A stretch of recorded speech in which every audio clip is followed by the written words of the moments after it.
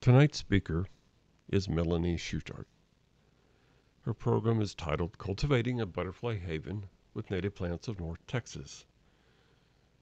She will discuss many of the native plants available to grow in our area to help provide sustenance and protection for butterflies, including some you probably know and some unusual ones that you might not.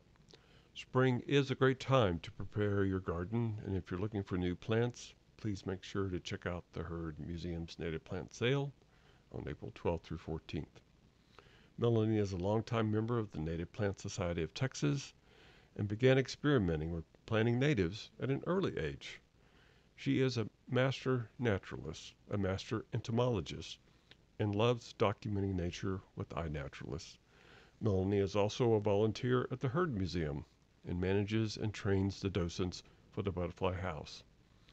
After being a longtime resident of Allen, she pursued her dream of living in the country by moving to Gunter and starting her own prairie on 2.6 acres to live closer to nature. So I'm going to talk about um, kind of using native plants in a butterfly garden for a butterfly garden. And um, first thing I want to just ask people while, while he's setting up is how many people, well, who has a butterfly garden or garden? Okay, I figured a lot of people do. So I'm going to kind of, I've got a lot of stuff on the slides. I tried to label everything because I'm not going to talk about everything. But one thing I'll ask you now is who has stuff blooming right now in your butterfly garden? What, what, what kind of things do we have blooming? Salvia. Salvia, okay. What, Absolutely. wait, what?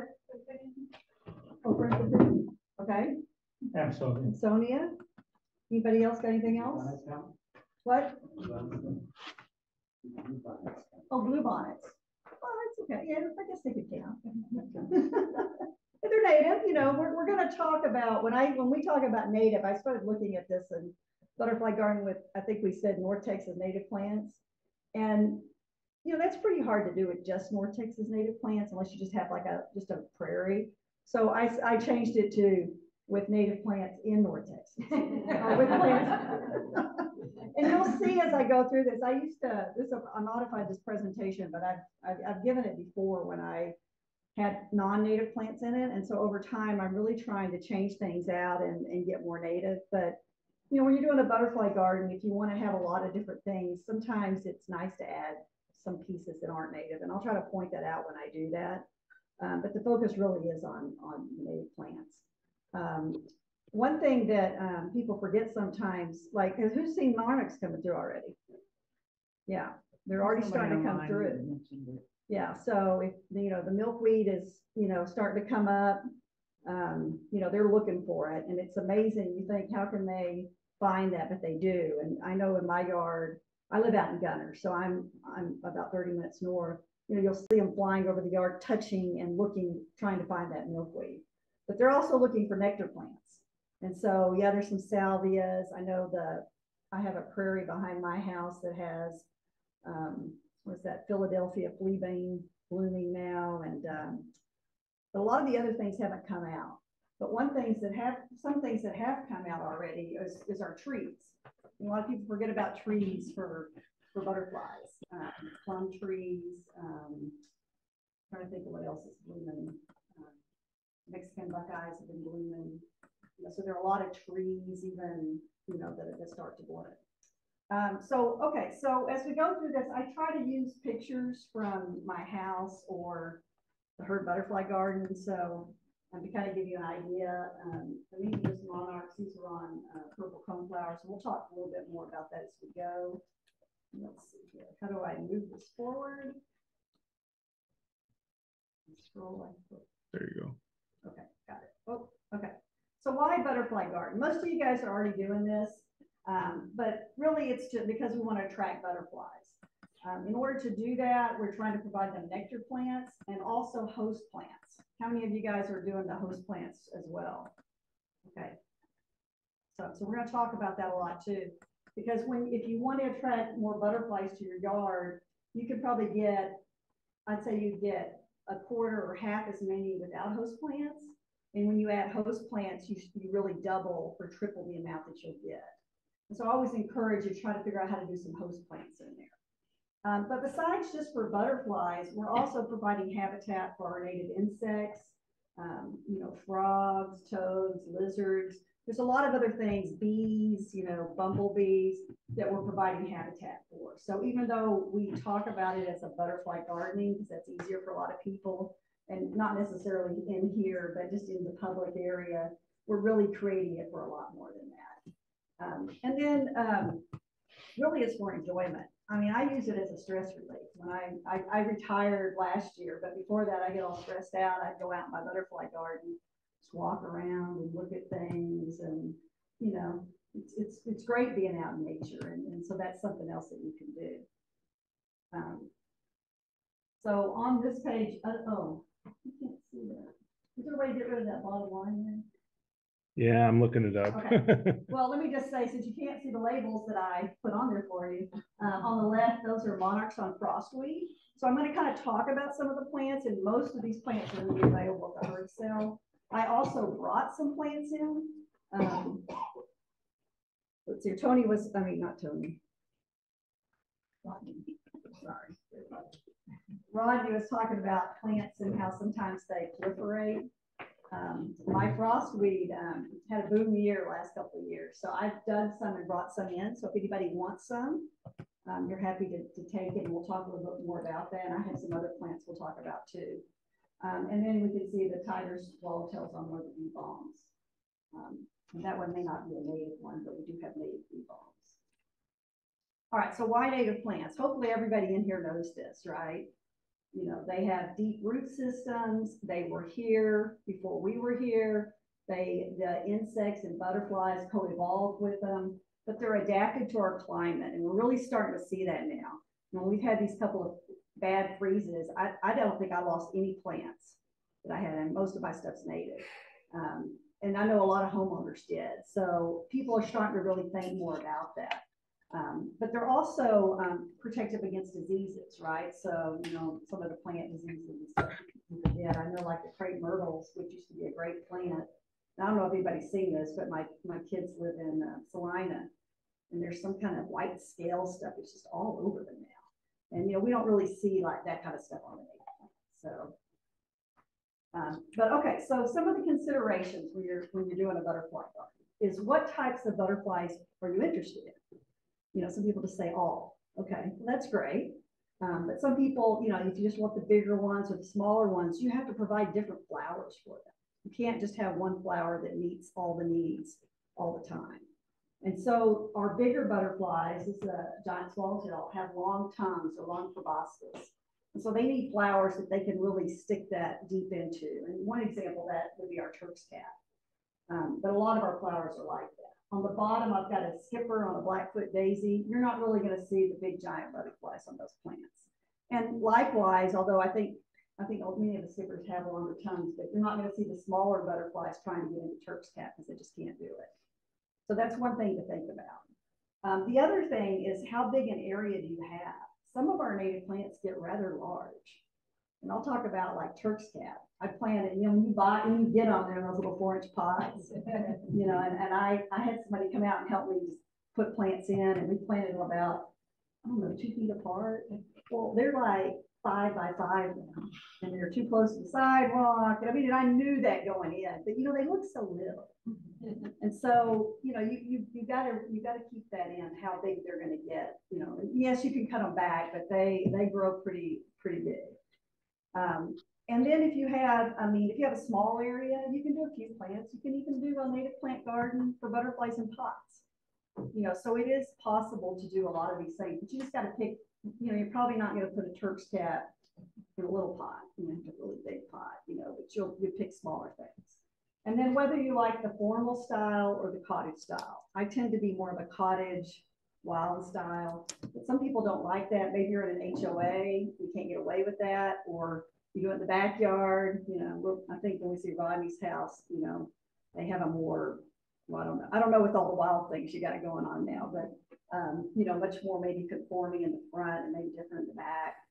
Um, whether you have full sun, you know, I'll talk to people that want to do a butterfly gardening and they're, they're under a bunch of live oak trees. It's pretty hard to do that there. You can sun, but it, it's pretty hard. I mean, we, we really need part sun here at least. And then water. Um, you know, how much water do you have? You, you live in a house that has sprinkler systems. I know I've talked to some people, they water two or three times a week, which is just, to me, that's crazy. Um, but you know, a lot of the native plants are gonna struggle with that. You know, some will do better than others. Um, you know, some that are closer to, you know, maybe riparian areas and so forth. But like, I know when we moved to our, um, our house in Gunter, we decided we weren't gonna put in water sprinklers, so we do, we do no water, no extra water. Oh, I don't say any extra water, but if I do, I do it by hand. You know, so, you know, I can have different plants there, and then I can see which ones need it, if it doesn't rain for two months sometimes. Um, perennials or annuals, um, seeds and runners, this is kind of what Rodney was talking about.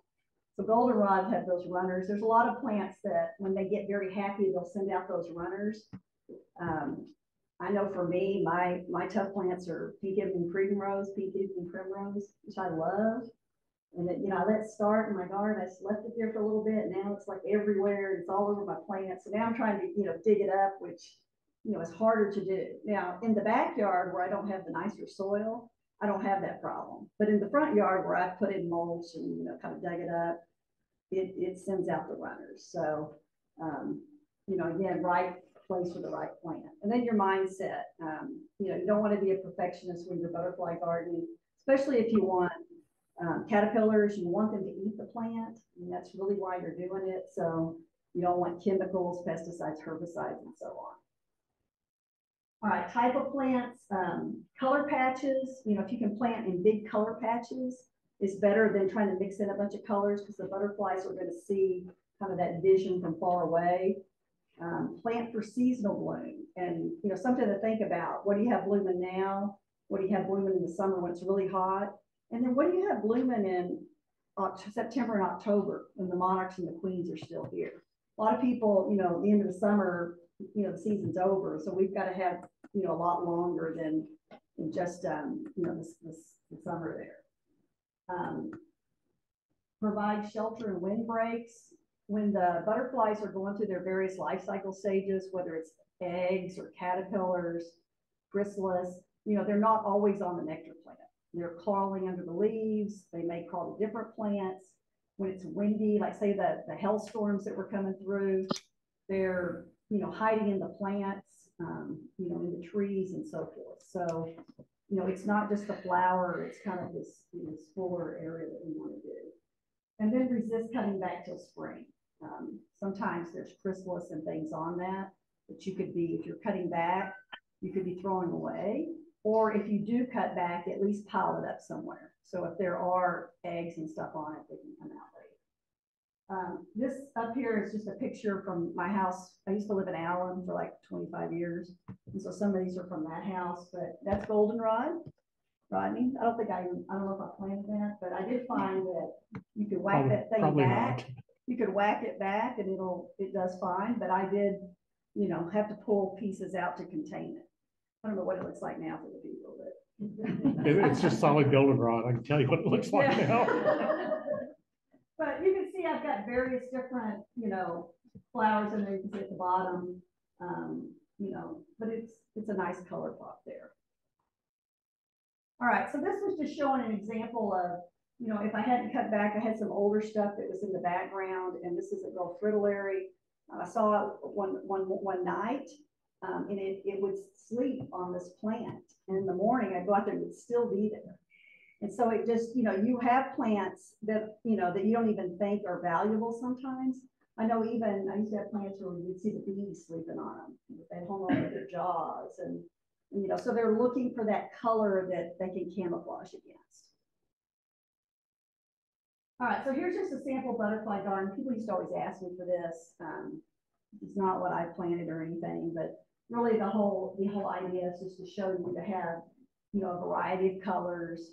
Um, this might be like a fifteen by fifteen plot or ten by twenty, you know, a, a big plot. So if it was smaller, you would have less plants, but normally you put your bigger plants in the back, your Turk's cap, um, your frost weeds get, you know, get pretty tall, sages. Um, then you've got a variety of, of bloom times. So right now, um, see, the milkweed's starting to come up.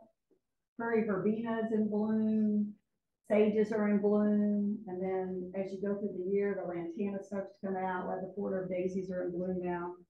Um, Turk's cap and Gregg's mistflower usually doesn't come out till later, and then the frostweed is a, um, late season bloomer. So you just, you have a variety of things, and you can change that up with different plants, you know, um, and so forth. Also, what I do is I sprinkle in host plants. So you've got pipe vine in there, and I have found that pipe vine, um, and we'll talk a little bit more about the pipes, does really good, like in between the shrubs, kind of as ground cover under there. Um, so I use it a lot for that. And then passion vine, if you can get it to climb a fence, you know, it works good. And I have this like a fence on the back, the back of that. Um, and then also like your, your milkweed's a host plant, you know, it's gonna come up, bloom, and it's gonna, usually it's gonna go back down.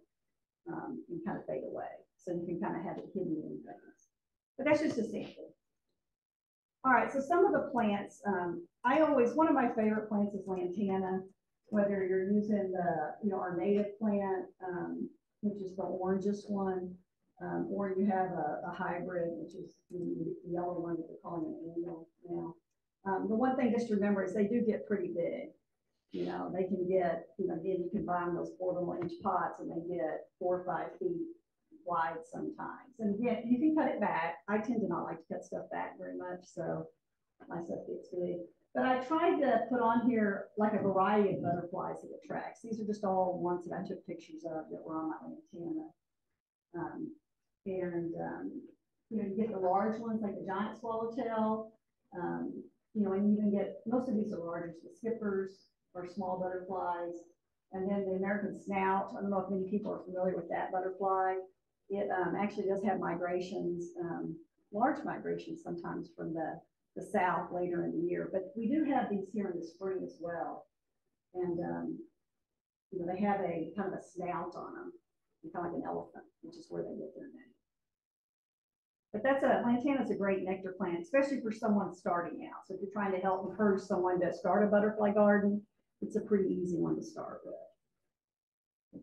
Greg's Miss Flower, I'm sure most people know about this one. Um, this is a mid to late, late season plant. Um, that picture I have in the middle, I mean, in the, in the top here, you can see I've got pumpkins next to it. So we're in October when that's blooming. And I usually it starts blooming around May, um, sometime like that. Um, but it's, it's really big for the queens and the monarchs and, and several, I mean, several other butterflies. I, I was experimenting with it in park shade. You can see it's under a tree. And we get the morning sun, but it also does full sun as well. Sometimes if you water them too much, they get leggy. So you can experiment by kind of cutting them back, you know, before the fall and kind of shear them off before they start blooming. Um, but they do sprawl as well. I think I've got you know, width four to six feet. If it gets big, you just, you just can yank it out. But it's a pretty, it's not a sprawl plant like the pink Indian primrose or the goldenrod. It's pretty, it's pretty easy to pull out. All right, so some of the milkweeds, um, this, this is a, um, Asclepias tuberosa. This is not, I don't know if I'd say it's native right here, but like in Fort Worth, it's, you know, it's a lot of Fort Worth. And uh, this was the one I had in my backyard in Allen, and I found a lot of people have trouble growing this, but I found it was on a kind of a slope behind my pool, and so it was getting good drainage, and I mean it was huge. Um, and it attracted all kinds of butterflies. Um, not much of a host plant, I would say, in our area, but when I talk to people in Fort Worth, they see caterpillars on it all the time. So don't know why the difference, maybe because they have a different choice.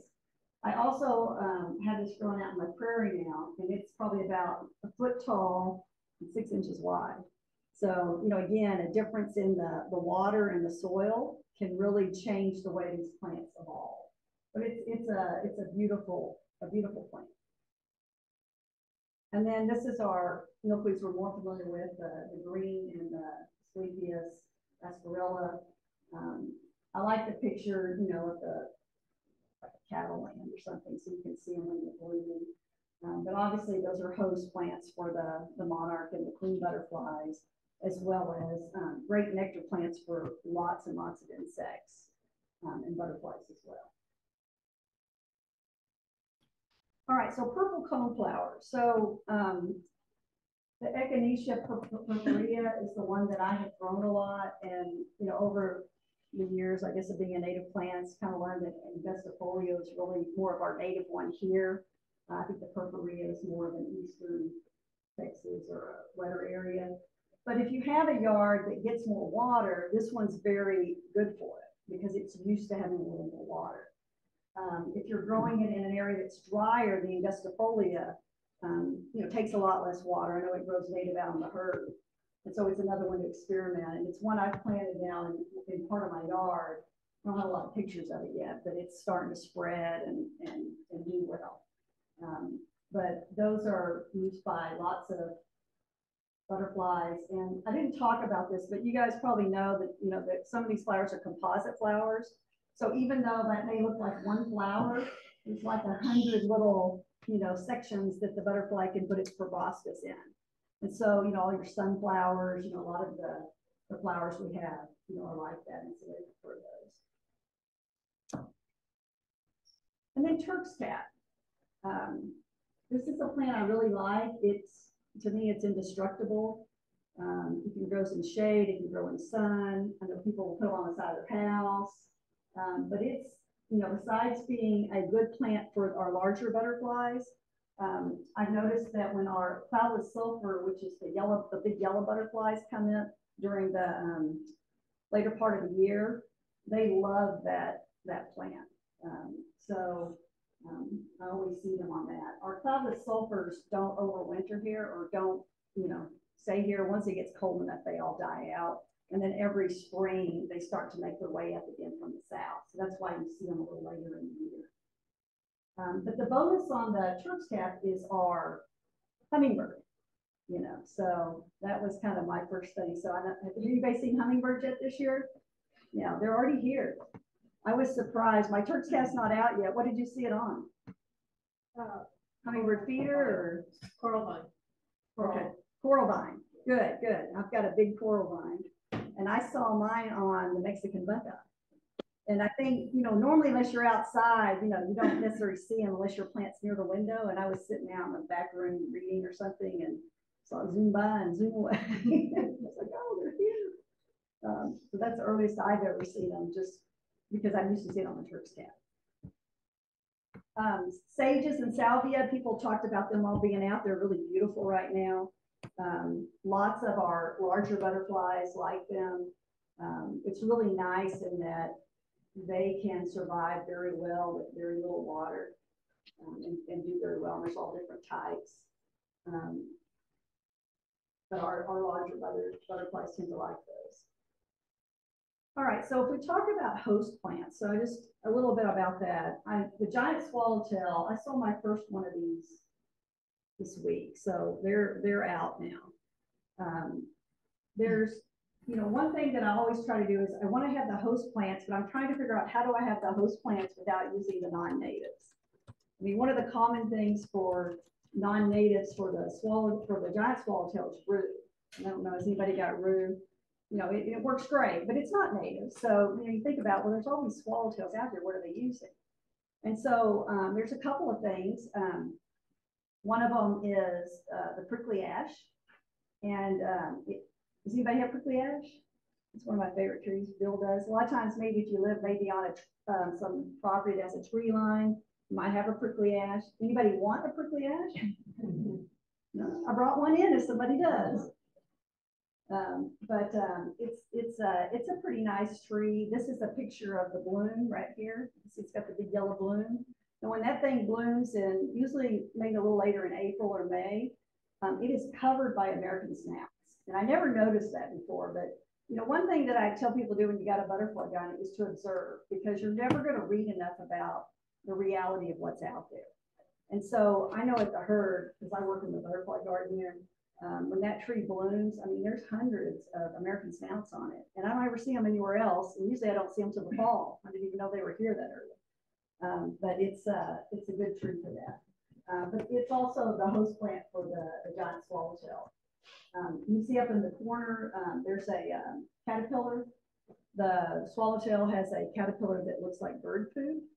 So I do a talk um, on defensive strategies or how survival strategies of butterflies. And there's a lot of things they do to try to protect themselves.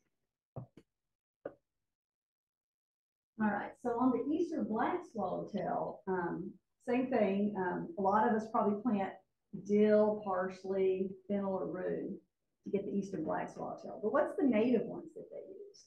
One of them is prairie parsley. Um, so you don't usually see that unless you kind of may have more of a field or a prairie area. It's a plant that blooms every two years.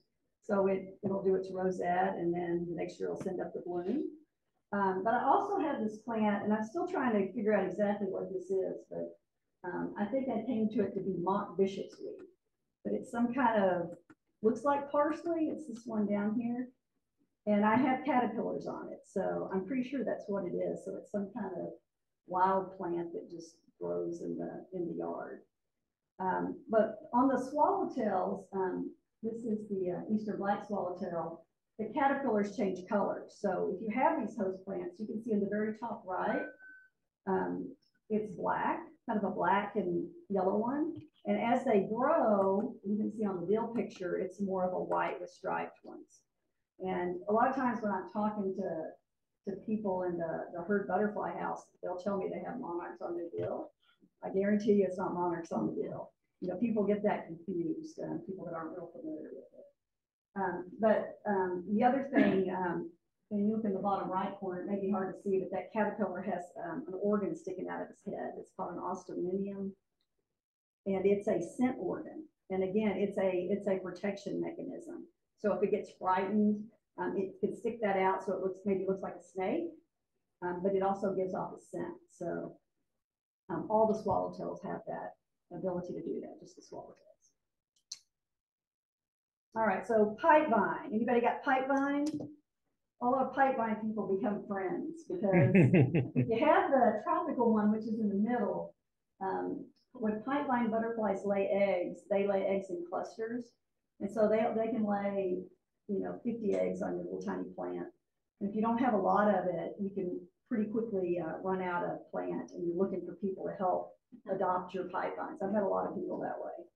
Um, but that's just part of their behavior. Um, most butterflies are singular layers, but this one's not. Um, also, one thing the pipevine does is in the right, you can see they're all, all the caterpillars are clustered together. It's called gregarious behavior. And so it's to make them look like a larger organism. And, and again, that's a protection thing. Um, the one, the plant on the right, right, it's a telescope, um, is the woolly tomentosa. This is our native pipe vine. And so people are, we're we're always trying to encourage people to get that, but I don't know that I've ever seen us sell that in the Heard sale. Um, I've been able to find it at Texas Discovery Gardens and the Painted Flower Farm. And I know there's some members, um, that have it growing. Um, but if you can get that as well, the leaves are thicker. And so the caterpillars last longer on it. So I always try to encourage people, if you have the tropical, try to get the other growing because it'll, it'll last a lot longer and you can move them. The tropical plants that we use for our butterflies are really like candy for them. So they just eat right through them and like cotton candy. Gone. When you say it's tropical, does that mean it's not perennial?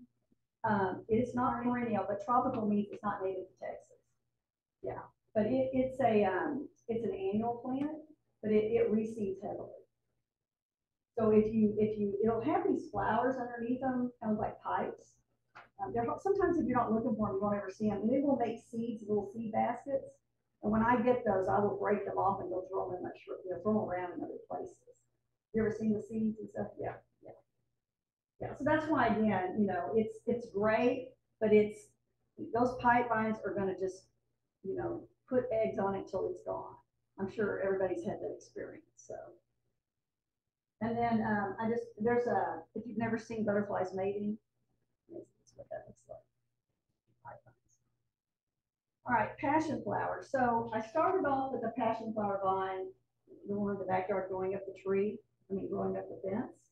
And I, I, I believe that's Passiflora caerulea, which is not a native one here. Um, and I think that's why it climbs up the fence. Um, in my new house, I have the incarnata. Um, and the, the native one has three leaves on its lobe, three lobes on its leaf, whereas the, the tropical one, which non-native Texans has five.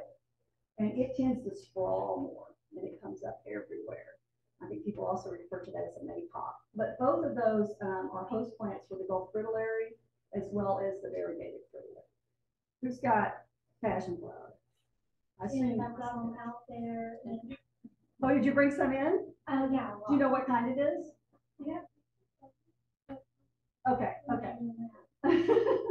Yeah, so, um, anyway, so if you want butterflies year round, I mean, not, not year round, but summer around. it's, that's a great one to have, It- you know, you just gotta be able to contain it.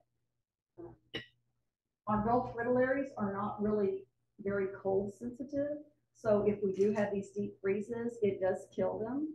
And then they have to take their time to fly back up in milder winters, or if they're in protected areas, they will survive the winter and you'll see them earlier in the spring. So that's, you know, a lot of times people say, I haven't seen them, where did they go? It could be because we have severe freezes. And it, and they start their migration, they do what's called a one-way migration. They don't migrate back, they migrate up, you know, they keep going and then they die and then they start over. But, um, here's the eggs on the end, you can see these little eggs on it. I didn't mention this, but most of our caterpillars, um, that have the coloring of the butterflies with the coloring, usually are using host plants that are toxic. Therefore, they have that, um, you know, recognition, like a poison dart fly or the monarch, that they're, they're toxic to birds and other things.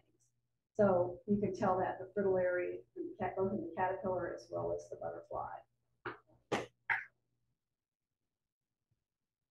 All right, so some other plants I'll talk about um, that I really love is frog, like one of them is frog fruit. Um, frog fruit is a small flower, it's a ground cover, um, and it's very, um, say robust. It can survive in a lot of areas. It can survive in the shade. If, if you have it more shady, it'll be taller. If you have it, um, you know, in the sun, it'll be shorter and sprawl more. I'm experimenting with this as in my, in my front yard. It's kind of like in the grasses, you know, to have some kind of small flowers that we can mow and still come back. And it's been doing pretty well. Um, the one in the middle was a person's garden. They use it, they mow it, and they just kind of use it as a ground cover on their pathway. Um, but it has, um, it is the host plant for the, the, the Phaon crescent as well as the common buckeye.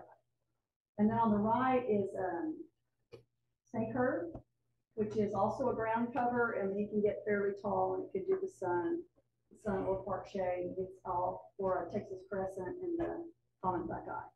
And I've given you the name of some of these um, butterflies that it's a host plant for. It doesn't mean you will always get them on there. Um, you know, I know for me, for frog fruit, I see on it all the time. On snake herb, I haven't seen a lot of butterflies, so it just may mean they have other, you know, things that they're using. Anybody grow those? frog fruit and, oh, yeah. So you probably have Phaon crescents. The snake herb, a lot of snake herb. Yeah, yeah, it's a, they're, they're really good ground covers though, and they, you know, they keep out a lot of things.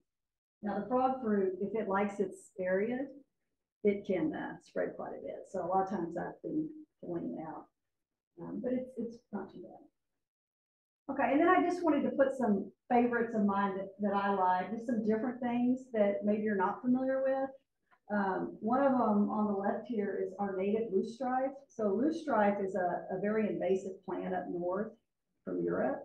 But we actually have a native one here. It's also called winged loosestrife. And um, when they put our house in, they used a lot of fill dirt from um, the lowlands, somebody's property, and it had loosestrife in it. And so this has turned out to be a really great butterfly plant. It just comes up in the yard and it has um, these purple flowers and the butterflies and the bees just love it. Um, normally, I'd say you find it more near riparian areas, um, but I think just because we got that soil, but it does really good in the hot sun and um, um, and so forth. So that's, an- has anybody seen that one? I don't know that I've ever seen it as for sale anywhere. Um, the other one is our native thistle, and I know people probably have that love-hate relationship with thistle. Um, but our native thistle, um, and I brought in, what did I do with that? Sample thing, anyway. The, our native thistle, the way you can tell that it's native is that if you look at the back of the leaf, it's white. Yeah, I, I was trying to bring an example in. I, I think the bigger leaves don't show it as well. We pass it around, but you can see there's white hairs on the back of this larger one. And then if you look on the front, this other one is the non-native bull thistle, very, very sharp. It doesn't have the white on it. But as you get newer growth on that thistle, the white becomes more obvious. Um, but it's, it's the host plant for the painted lady. So I've seen caterpillars on it. Um, and again, you, you want to be able to identify it with that white leaf because that bull thistle is very aggressive. Um, and, um, one of the ways, though, if you have thistle in your yard and it's not the right one, a lot of people like to let it bloom. And then after it blooms, if you cut the head off before it sets seeds, it won't come back. Um, you know, they're like a plant that sends it up and then they spread the seeds. Uh, Anybody have that plant in their yard? I know Bill and them do, but, okay, we've got people that have it. So it's very, um, the, the big butterflies love it. Um, I've actually got two swallowtails, two giant swallowtails on it. It's kind of hard to see. Um, but the bees love it, the bumblebees love it. Um, it's very good, um, plant for a lot of things. So there's always a lot of other insects on this plant. You know, the, the leaf, the leaf foot bugs, just lots of insects on this plant. So I like to go and check it out. And then here's another one you might not have thought about, mistletoe. You know, we always think mistletoe is, when Christmas is not a, not a value. Mistletoe is actually the host plant for the great purple hairstreak. Um, I see this butterfly quite a lot. Um, I have mistletoe in my yard. Um, it's a semi-parasitic plant, that grows on trees. I've got two different, um, Latin names up there. The, the Corphium is the one that I have, but there's also another one, um, that's native in Texas. The interesting thing about mistletoe, and I was reading about it, is it can live up to hundred years. And it says that it starts within the tree, and by the time it's the size of your hand, it's about seven years old. So if you have mistletoe in your tree, they can survive long. It's pretty hard to get rid of mistletoe out of your tree. And unless the tree is already sick or, or starting to die, usually there's not that much on it that, that it's gonna hurt it. Um, so I like it. Um, normally you find it on cedar elm, hackberries, or bodark trees. And I'll say all of mine on my tree line have mistletoe. Um, but the great purple hairstreak, has anybody, who's seen that butterfly? It's such a unique butterfly. It- look at its body, it's orange, it's got blue on it, it's got that, it's, it's a, it's a fluorescent blue stripe on that wing. And usually I see them, um, in the fall. And, and they like, I normally, I see them a lot of white flowers. So if you have white flowers, you can, you can look for that. Um, but I went back to all my pictures. I have them on goldenrod. I have them on other things as well. Um, but they're just a, it's just a beautiful butterfly. Um, that I would encourage you, if you have mistletoe, think of that, think of that differently. And then I talked a little bit about trees in the beginning. Um, many, many, many, many of our trees are host plants for butterflies. Um, I didn't, I didn't put all the butterflies on here, but I wanted to put a few, um, the upper right, that red spotted purple. You see that mainly on like willows and, um, cottonwood trees. It's more of a riparian butterfly, but it has, it is so beautiful. Um, I've seen it, I see it the Heard quite a bit when I'm walking through the, the wetlands. Um, also, we have the mourning cloak, which usually only see that in the spring. It- it's not out very long, but anybody guess how long the mourning cloak can live? It's one of our longest lived butterflies, and most people have, don't even know about it. Any guesses? It can live up ten months to a year. And so you'd think you would see it a lot, right? But you really don't. It's more of a woodland butterfly. Um, the red spotted purple and the mourning cloak really aren't butterflies that come to flowers, as are uh, most of the other ones on here as well. Um, you will see them normally on maybe sap in the trees and, you know, and things like that, um, in the sand and so forth.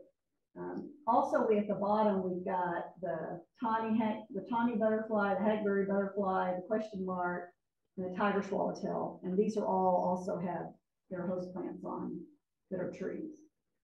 Um, and again, most of them are colored to be camouflaged in the forest. I said the tiger swallowtail one that's a little different. Um, and when their wings are shut and they're sitting on a tree, you really can't even see them. Um, all right, so just some, um, I thought I'd show some pictures of a garden. This is what my garden looked like in Allen. Um, we had a pool, we had a big yard, but most of it was the pool, so we just had a garden around it. Um, you can see, uh, I put a lot of different ones, this isn't all native, um, I had, I had different things in there. But you can see the, the passion vine on the back fence. I had coneflower and sage and lantana. And then I had a bunch of host plants, and so, you know, you don't necessarily see all that as well. Um, talking about size, this is what it looked like, this is May two thousand and I have some non-natives there in the front, I forget what those were, but you'll see on the next picture, they're not there anymore. Um, my little mountain laurel tree, those things, uh, it costs a lot for their small size.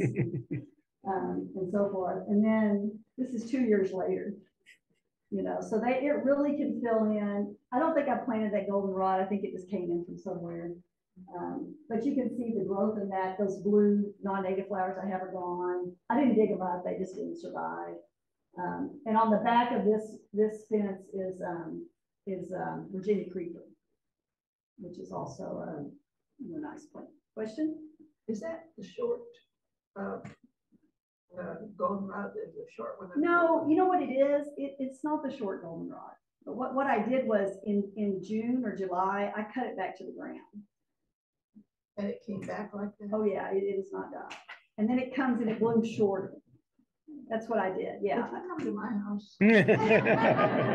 Yeah, I just experiment with it because otherwise it gets so big in those, in those nice beds, you know. Yeah, so I, I experimented with some of these plants, especially ones that maybe are out of control, just trying to cut back and see what they would do. And, um, yeah, it actually did really well, you know, but I did, you know, as it got into like the years later, you know, have to pull stuff out, you know what I mean, as if because I, I didn't want it to expand and take up that whole area. Not my house. Yeah, it would be nice. to- I mean, I love goldenrod. It is such a great plant for all the insects. I mean, it's wasp, bees. I mean, you just see so many things that you would never see on that goldenrod. So I really like it. Um, Doug it- Tallamy says it's the best pollinator plant out there. Oh, does he? Okay. Yeah. Yeah. It is the number one pollinator plant. Yeah, so I mean, it really is good. Now, you know, it might, it, you know, if you haven't want to try it, it might be good to try to pot. You know, or if you had like a concrete median, you know, like between a driveway. But I mean, it- I, I don't want to, you know, it's really a great plant and, and thank God it grows out in the prairies, right? It's, and it's hard to get rid of because those butterflies, especially coming through the fall, when it's in its prime, you know, that, that's one of their dependable plants. So this is my new house. This, I took this today, just to kind of show you what it is. Um, somebody was talking about the coral, the coral vine. Here's my coral vine over here. Quite happy with that. I bought that. All these plants are from the Heard. Um, and you can see here is the flame acanthus coming in. I had a Turk's cap right here that I cut way back. It's way too close to the sidewalk. And then just some wild things. This is the fleabane daisy. I didn't plant that. It just came up. And then one of these yellow flowers came up. Um, and then I think back here, I have some frostweed. You can see the sticks. This is where I have frostweed growing. And then I've got like a rattlesnake master. I didn't do a slide on rattlesnake master, but it's a, it's a nice pollinator plant with those big round balls. A lot of insects like those too. Um, but behind the pool, and I didn't show that, is kind of my prairie area. It's kind of got out of control. So we mowed that. We mowed that. I'm trying now to mow once a year thing, you know, so we're always learning, right? There is no, I tell you, there's no perfect way to do this. Um, Laura, I don't think Lorelai's not here, but, um, she's, is she on the tour this year? She's not on the tour. Has anybody been to Lorelai's house? Okay, so I think I took, when she first planted it. It has really grown now. I mean, I probably need to go get newer pictures, but, you know, again, she lives in a neighborhood and she planted in her yard, and, you know, just, there's different ways of doing all of this. Um, you know, and she had a lot more grasses and stuff, but I, I think it's pretty, you know, all together now. Um, So we saw her garden in Allen. That's Plano, right? But she lives in, in Allen. Oh, she's moved. Yeah, right. You should see it now. You know, you're right, and I'm thinking, I'm thinking Allen, you're right, this was Plano. That was in Yeah, you're you're one house back, Melanie. Yeah. Okay, well, I'm gonna have to work on it. Yeah, you're right. It's at Allen now. Well, I bet the one in Plano is pretty well filled in or you know, I have to, I, yeah, I have to update now. This was an old, this is an older presentation, I guess, as you guys can tell on that. Um, so anyway, I've got, I got some references on here, um, on things you can, you can see. If you want more, um, information on them, um, Dallas County Lepidopterists' Society, anybody ever look at that website? It's great. This is, um, by, um, Dale Clark, he's a, he's actually a lepidopterist. And he's done this in Dallas, it's just dallasbutterflies.com.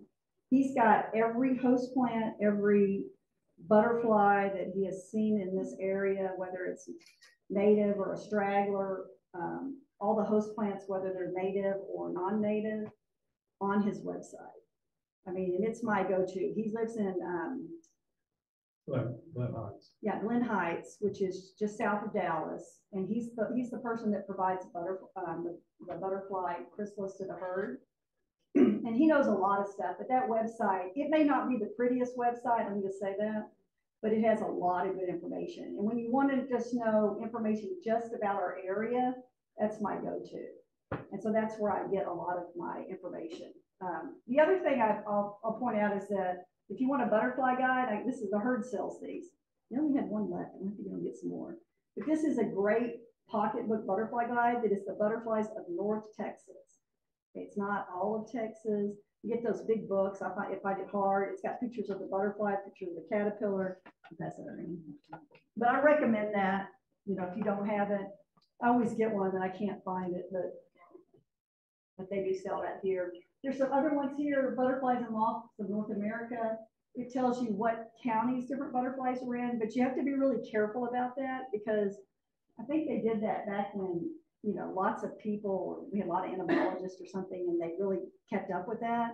A lot of it, you can find butterflies that aren't listed on there. And I know for, for, for instance, Grayson County would show a lot more butterflies than Collin County because Lori Shepherd lives in Grayson County. And she, and she does a lot of that, whereas in Collin County, there's not really anybody, you know, adding, you know, going in and doing that.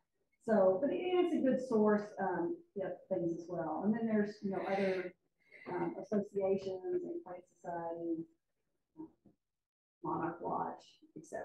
on there. I think, um, let me see if there's any questions. Okay. Frank? Um, how, how do you think the monarchs are doing? Or is there any way to know right now? Well. Repeat it, be sure you Oh, repeat the um, question. Brent's asking, how do we think the Monarchs are doing?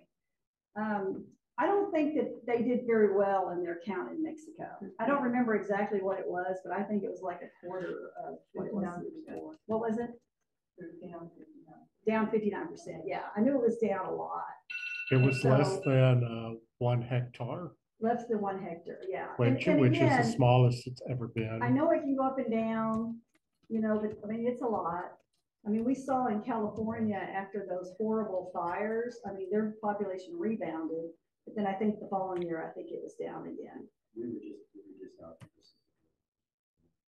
Okay, yeah, so it's variable. I mean, insects can come back fast, but you know, the number one trigger for all this, habitat, habitat loss.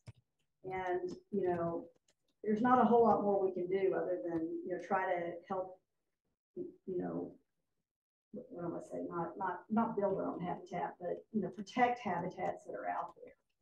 And, um, you know, it's not just since they migrate up and down, right? There's a whole path of that. Um, but, um, yeah, it's, it didn't look too good this year, so.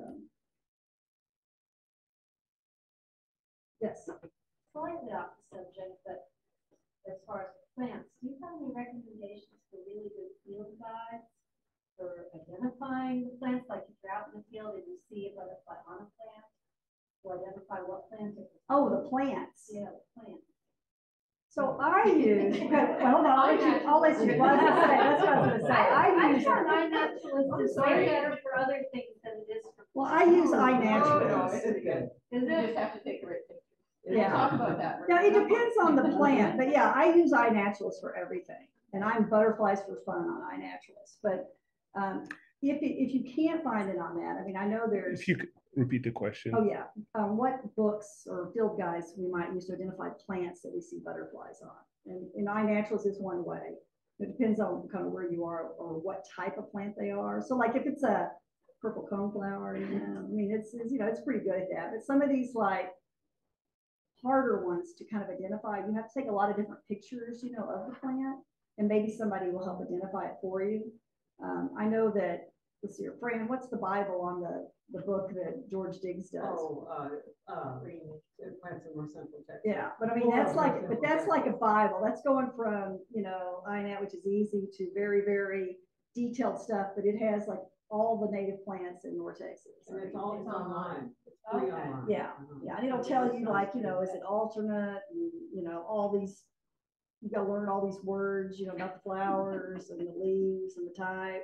But I mean, it will, it will for sure help you, you know, figure that out. And if you get too far and you can't figure it out, then call Fran or Carol or. But they appreciate if you try. Right. Yeah. Uh, Yeah, no, that was good.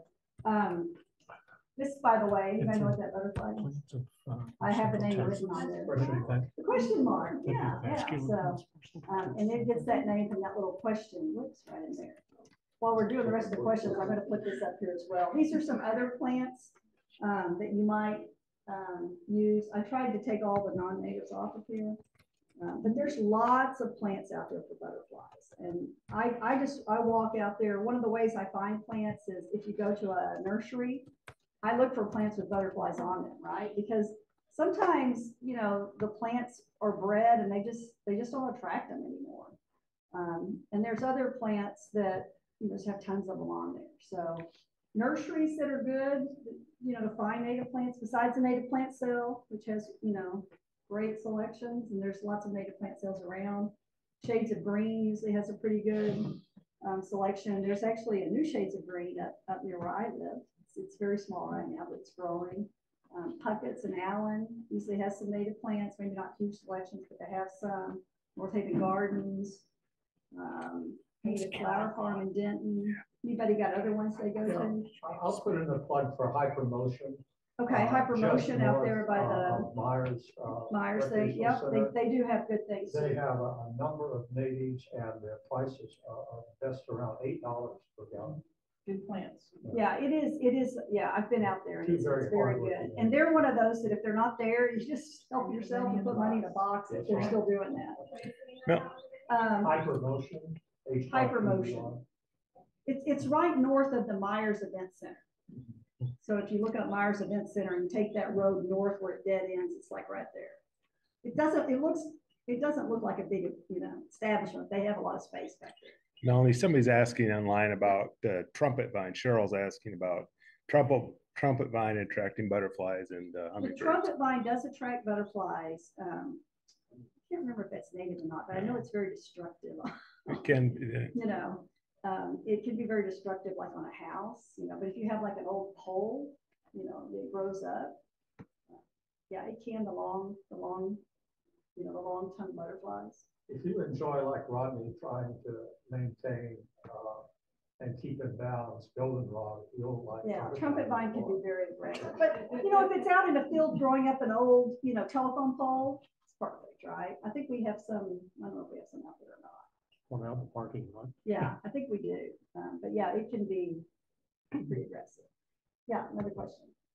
Do you find that the improved cultivars don't attract the pollinators the way the native species, straight species? So the question is, do we find, do I find that the improved cultivars don't attract them like the other ones, like the native ones? I think some cases that's true.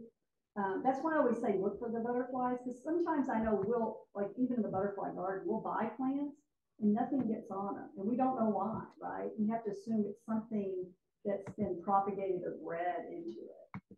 Um, but I don't know that I can point out any of those things, but, you know, there's a lot of things in plants, like, you know, we talk a lot about like the great list flower. You know, it has certain chemicals in that plant in the nectar that the um, male um, queen butterflies use to create pheromones. You know, so there's there could be other things in plants that we just don't know is there. Um, I know for sure, and this is this is example is a non-native example, but but I love zinnias. You know, um, they're Mexico, it's close, you know, south. um, but they have bred zinnias plus a lot of plants to be what's called double flowered. And so instead of being open, where you can easily, you know, get the nectar in the flower, they're closed over with all these petals and the, and the insects, you can't really even get to them. And so yes, they're beautiful for humans, but they're not, they're not good for what, you know, they're needed for, for the insects and everything. So always look for that if they're, you know, double blooms or things like that. You know, if you can't get to that nectar in there, and then, then other plants, you know, that we have that people like roses, roses don't really produce nectar, so, you know, not really valuable for here. Or butterfly garden, they're pretty, but, you know, it's, it's a different use. That's a good question. Does anybody know of any? Has anybody bought anything and seen that? I- I've been trying to answer that question for a number of years. Mm-hmm. What I've read most recently is that many, perhaps the majority, are worthwhile, but not as worthwhile. as the original native. Thank you. Beneficial. Bill said, Thank you, he's been reading about it a lot and many of these that are hybridized, I think worthwhile, but they're not as beneficial as the native. All right, other questions? May I make a plug regarding, and Richard, regarding, uh, your list up here? Yes. All but about a half a dozen of those, thanks to Charlotte staff, will be available at the plant sale. Oh, yeah, yeah, the plant sale. So when's that plant list gonna be out online for everybody? I Next week, imagine- maybe? I imagine next week. Uh, Charlotte has it now. I Yeah, so. yeah. So, um, I would say too, I think, I don't think I had more. Let me go back to the beginning of this. I put my email on this in shuhart@aol.com. I'm, I'm a vintage AOL user now. And, um, if you have questions or you saw something in there that didn't make sense or has a label wrong, please email me. Um, you know, if there's, if there's something that you like as a butterfly plant that I didn't put on that list, let me know. Um, it's just something I just try to add all the time. Um, keep that going. I know, um, Carol Clark, she's not here today, but she has like a great list of every plant that a monarch uses. And so I'm trying to see if I can do, not similar things, but, you know, I try to look at some of these butterflies and see what plants they're on. Um, because I just find that helpful, you know. They're not gonna be on all the plants that they could be on, and sometimes in your different yards, you see them on different things. But, um, yeah, it's certainly fun to, you know, experiment and, and just see how things work. And I think that's the main thing, is what works for you. You know, I know people tell me all the time, what do you plant? My rabbits eat all, eat all my plants. Well, I have rabbits, I have baby rabbits, all- but they don't eat my, I, I mean, I don't really have that problem. Now, maybe it's because I have a lot more plants. You know, maybe it's because, you know, always think of like lantana smells, you know, different things, but people have different issues, right? You know, that maybe somebody else doesn't have, maybe they just have rabbit, ravenous rabbits or something, but anyway, I appreciate it, and if you do have questions, or if you need a butterfly identified, um, let me know. Um, I will also, I will be doing the volunteering again in the Heard butterfly garden, so if anybody's ever interested in that, you do have to be a Heard volunteer and so forth, but we always look for people that want to be docents in that, or just come by and, and visit. So thank you.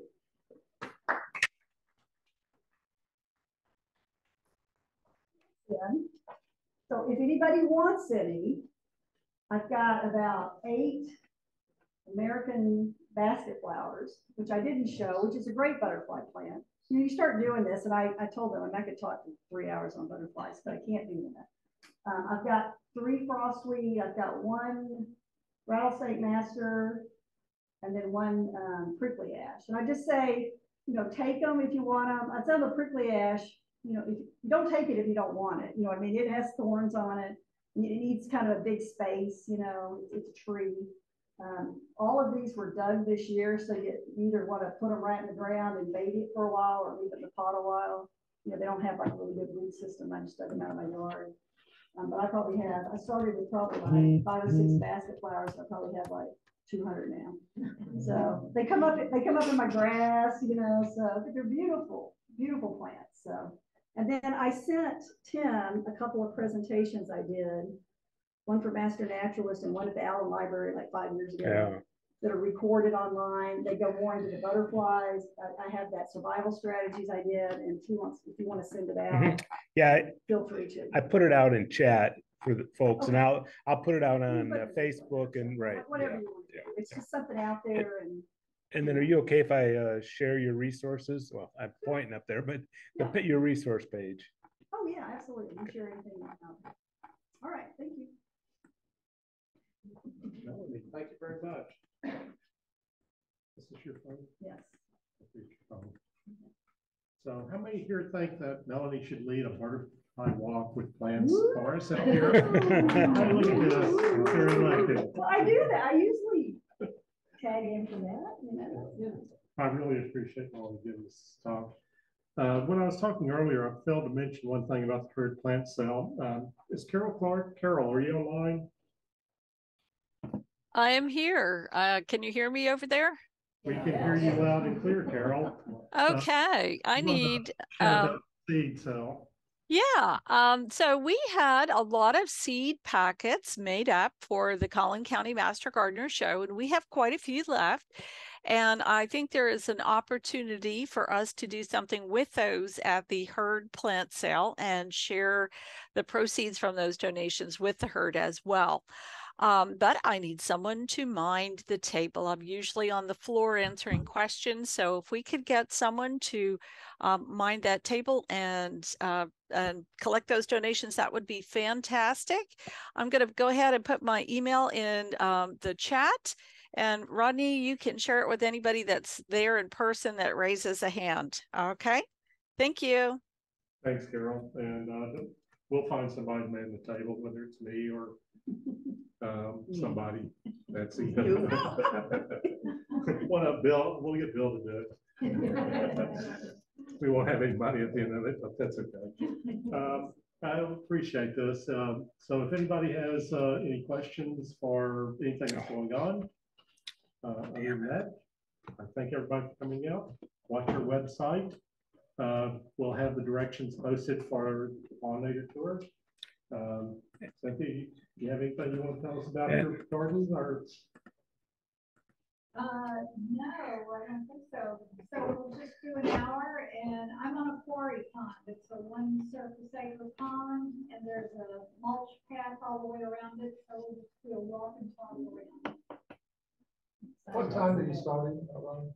Probably start about eight thirty or so, thirty? Yeah. something like that. You know, you're talking about uh, cultivars, Melanie. Uh, I have Salvia greggii. And that's one that, you know, you can find in box stores. There's all sorts of cultivars, as you can find some that have little, you know, white flowers, little pink hearts and stuff. See how many uh, butterflies or hummingbirds use those. You probably won't see any. Uh, I have a, it's not really a cultivar, it's just a salvia greggii that um, my uh, landscaper got in the wild somewhere, and that's what's attracting hummingbirds right now.